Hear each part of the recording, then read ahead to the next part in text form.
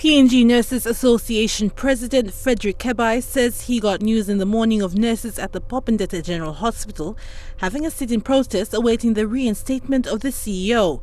The, the board has not followed the process and uh, the workers, the nurses, doctors and the sectional heads through their petition they have found that he is the only, the best performing CEO and he has a very good leadership qualities.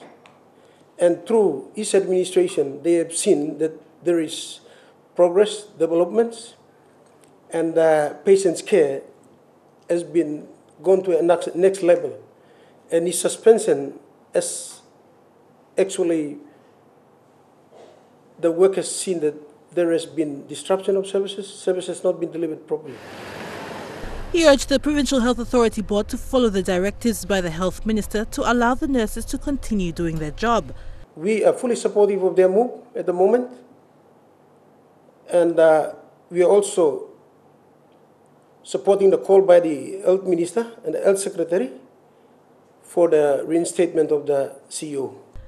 PNG Nurses Association General Secretary Gibson Suni said the nurses make up 75% of the services provided in the hospital and their work is crucial. If the board,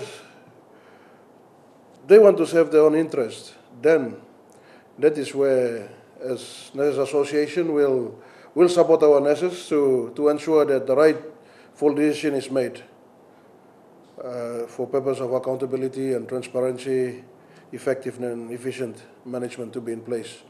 Adelaide Sirks Kari National, EMTV News.